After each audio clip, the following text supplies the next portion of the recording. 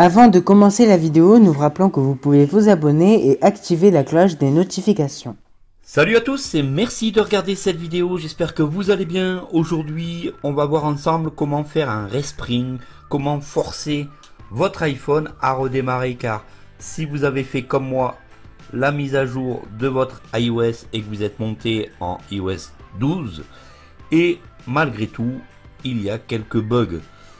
Il y a des problématiques avec VoiceOver ou parfois on a un gel d'écran ce qui veut dire que l'iPhone n'est plus du tout accessible, on n'a plus du tout de retour sonore, on n'a plus du tout de fluidité avec l'iPhone, on n'a plus du tout de possibilité de se servir de notre iPhone, et bien sûr la touche marche arrêt avec l'iPhone 10 ne l'éteint pas, une combinaison de touches va vous permettre de redémarrer votre iPhone sans l'avoir éteint, ce qui veut dire que vous n'aurez pas du tout à remettre votre code PIN, ce qui veut dire que vous allez redémarrer à l'instant T où l'iPhone a planté. Alors ceci, c'est en cause de la bêta et ceci va être faisable avec tous les iPhones que vous allez. La technique sera différente. Ici, la vidéo concerne l'iPhone 10. Alors surtout, n'hésitez pas à mettre en commentaire si vous avez des questions. Le Respring est une façon de redémarrer son iPhone sans l'éteindre et est une façon de récupérer son iPhone bloqué où plus rien n'est faisable dessus.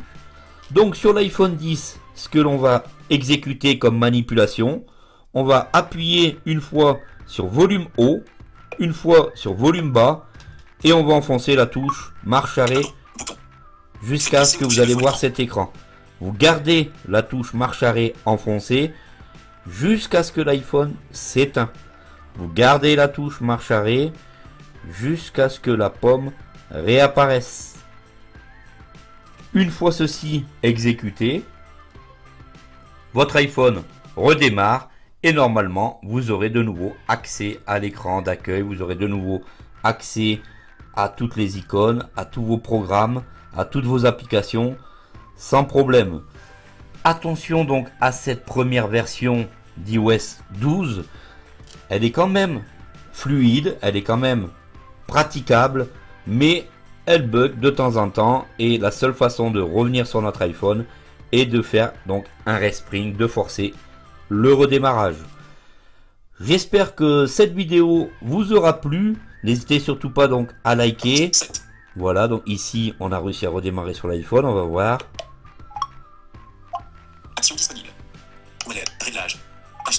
Voilà donc de nouveau l'iPhone est opérationnel on peut s'en servir comme d'habitude. Et comme vous avez vu, on ne m'a en aucun cas demandé le code PIN puisque l'iPhone n'a pas été éteint, il a été simplement redémarré d'une certaine façon que l'on appelle le respring, forçage du redémarrage.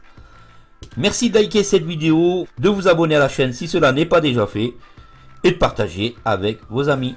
A très bientôt pour la prochaine, salut à tous